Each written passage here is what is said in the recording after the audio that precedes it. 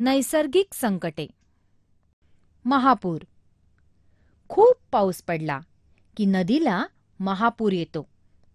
पूर हे नैसर्गिक संकट आहे. खूप पाऊस पडला की नदी दुथडी भरून वाहू लागते. नदीकाठच्या वस्तीमध्ये पाणी शिरतं. शेतात पाणी पसरतं. घरात दुकानात रस्त्यांवर पाणी साचतं. शेती घरे मालमत्ता साऱ्याचं नुकसान होतं. दुष्काळ.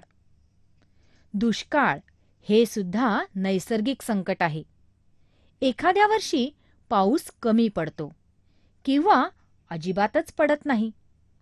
तेव्हा पिण्यासाठी शेतीसाठी पाणी मिळत नाही. धान्याची आणि पाण्याची टंचाई निर्माण होते. यालाच अवर्षण असं म्हणतात. वादळ. वारा प्रचंड वेगाने वाहतो. तेव्हा मोठं वादळ होतं. घरांची छपरं उडून जातात. दिव्यांचे खांब झाडं कोलमडतात. वादळाने शेतीचं प्रचंड नुकसान होतं. पिकं झोडपली जातात. कृती. पत्त्यांचा बंगला करा. त्यापासून काही अंतरावरून पुठ्ठ्याने वारा घाला. काय झालं?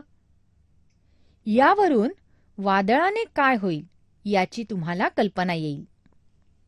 वीज पडणे. पावसाळ्यात आकाश काळ्या ढगांनी भरतं. तेव्हा वीज चमकलेली तुम्ही पाहिली असेल. क्वचित ती इमारत झाड शेत जमिनीवरही पडते. वीज जिथे पडेल तिथे जे असेल ते जळून जाते. कधीकधी वीज पडून माणसे जनावरे मृत्युमुखी पडतात. भूकंप. भूकंप म्हणजे जमीन कंप पावणे आणि थरथरणे. जमिनीच्या आत खोलवर मोठ्या प्रमाणावर उलथापालत होते आणि मग भूकंप होतो. जास्त तीव्रतेचा भूकंप होतो तेव्हा जमिनीला भेगा पडतात. इमारती बंधारे यांच्या भिंतींना तडे जातात आणि पडतात.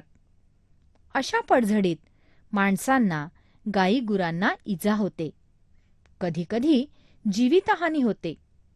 मालमत्तेचे मोठे नुकसान होते. नैसर्गिक आपत्तीशी सामना. पूर अवर्षण वादळ भूकंप वीज पडणे ही नैसर्गिक संकटे आहेत. त्यांच्यामुळे आपलं खूप नुकसान होतं. संपत्तीची हानी होते. नैसर्गिक संकटे आली की जीव कसा वाचेल ते पहावे. आणि नंतर इतर महत्त्वाच्या गोष्टींचं नुकसान टाळण्याचा प्रयत्न करावा. नैसर्गिक आपत्तींना तोंड देण्यासाठी शासनाने आपत्कालीन व्यवस्थापन विभाग निर्माण केला आहे. हा विभाग ज्यावर नैसर्गिक आपत्ती आली आहे अशांना विविध प्रकारे मदत करतो.